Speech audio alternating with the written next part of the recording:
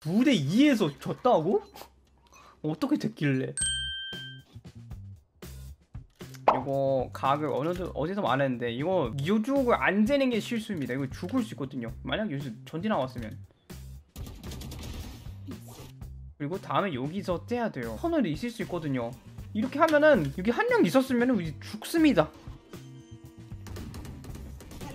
백사이드 체킹하는 게 좋았 좋을 것 같은데 손에 사람이 없으면 그냥 과감하게 나와가지고 좀 한번 체크해요. 너무 늦게 나왔어요. 윤총을 살아있는 동안을 픽해야지 뭘 끝난 다음에 픽킹해요. 이거는 좀 이해가 안 됩니다.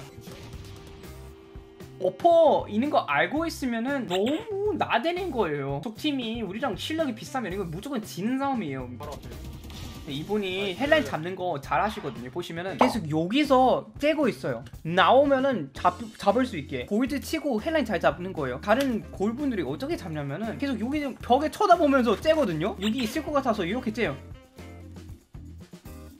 원래 이렇게 이런 식으로 째야 되는데 그냥 이렇게 째요.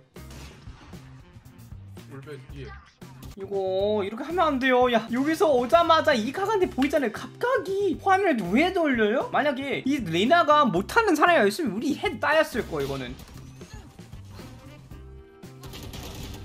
minimap에서 적 보이자마자 여기 다 어그로 끌려가지고 다른 생각을 안 해요. 왼쪽이 있다고 해서 오른쪽에 나올 수 없다는 거 아니잖아 이거는. 본인한테 제일 위험한 각은 오른쪽이에요. 벌써부터 여기 헬라를 잡으려고 하는 게 잘못된 거죠.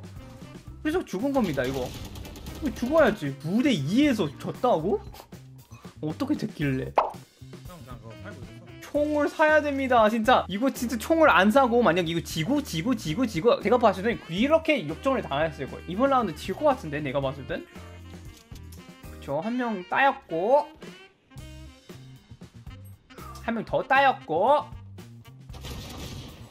또 따였고 만약에 거기서 밴달이 졌다? 미나 죽었을 거예요. 애매하게 여기서 130 때리고 아씨 너무 아쉽다 생각하는 하지 말고. 본인이 총을 안 쏴서 이 라운드 진다고 보시면 돼요. 진짜 이 라운드 지고 계속 snowball에 걸리는 거예요 이거. 2라운드 주는 겁니다 이거 지면은. 돈이 너무 꼬였어요. 만약에 두 번째 라운드 땄고 세 번째 라운드 보너스 라운드 했- 했으면은 이번 라운드 총이 나왔을 겁니다. 그리고 적팀이 돈이 훨씬 더 적었을 거예요 이거 피킹하면 이렇게 하면 돼요. 부순도 안 가는데 이렇게 피킹하면 그냥 해 따입니다. 3대3 어떻게 하는지 볼까? 저는 개인적으로 여기 안 갔을 거예요. 미래 보시면 여기서 다 죽었잖아요. 다 죽었으면은 총이 있을 겁니다. 근데 이쪽으로 턴으로 가면은 총 못 먹어요. 이 리체크를 할때 너무 불리해요. 적팀이 우리보다 총과 훨씬 더 좋잖아요 지금. 이거는 순식간으로 질 수 있어요. 이 영상 도움이 되면 좋아요 눌러주세요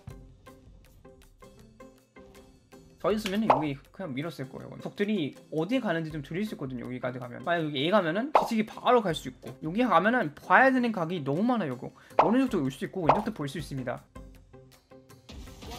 음, 자, 잡긴 했네요. 근데 이거는 더 이상 앞으로 가면 안 돼요. 이거 체인버를 기다려야 됩니다. 이거 1대1 싸움을 하고 레인한테 지고 1대1 싸움이 또 되는 거예요. 더 앞으로 가는 게 뇌절이에요. 이거는 진짜 뇌절입니다. 제가 예상한 대로 peeking을 잘 못하다가 레이나한테 죽고 1대1 싸움이 되고 체임버 못 맞추고 체임버도 지고 2라운드 준 거예요. 그쵸?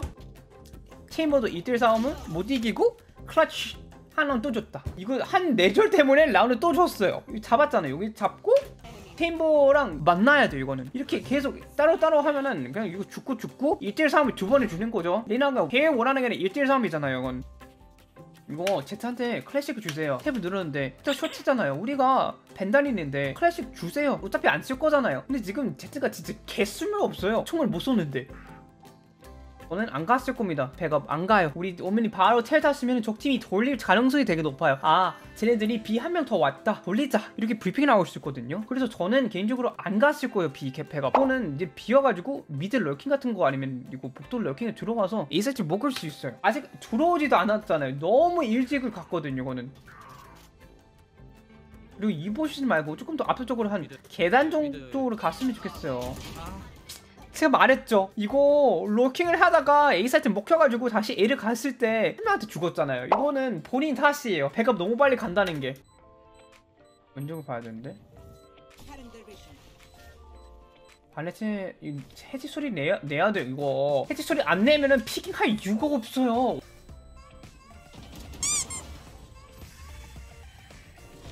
거기서 이기고 싶었으면은 시간을 생각을 해야 돼요. 이거는 kill은 먹었지만 라운드를 졌잖아요. 근데 우리가 이기려면은 kill 먹으면 안 되잖아. 이거 해체를 해야 돼요.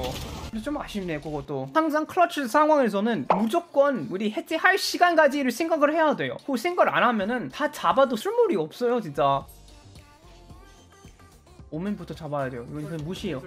그냥 레 여기서 솔직히 레이즈를 잡는 게 아니에요. 오멘이 여기서 혼자 있잖아요. 이건 설치하고 있고 이거 잡고 해체하면은 라운드 이기는 겁니다. 이거 우선순위가 잘못된 거예요. 만약에 오멘부터 잡았으면 이 라운드 이길 확률이 엄청 높거든요. 이거 잡고 연막까지 있으니까 그냥 여기서 반 해체하고 레이즈 달려왔을 때 잡고 해체하면 이미 게임 끝 이겼어 이미.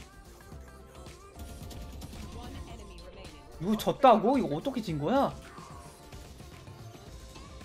요거 해체하면 안 돼요. 체인볼 P를 보셔야 돼요. 체인볼 P 없으니까 같이 싸워야 되는 상황입니다. 정확히 오메는 위치 어딘지 알고 있고 시간이 엄청 많잖아요 지금. 소리를 낼 수는 있지만 해체하려고 하는 거 잘못된 겁니다.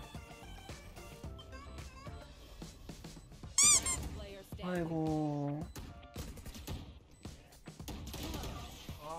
또 한 라운드 놓쳤습니다. 아 다리 이거 real 아다리다 이거 이거 음, 좀 아쉽다. 여러분들도 항상 어떤 싸움을 하든 팀원들 포지션을 보면서 싸워야 돼요. 특히 유리한 상황에서 우리가 4대3, 4대2 이런 상황에서는 최대한 우리 팀원이랑 같이 싸워야 돼요. 같이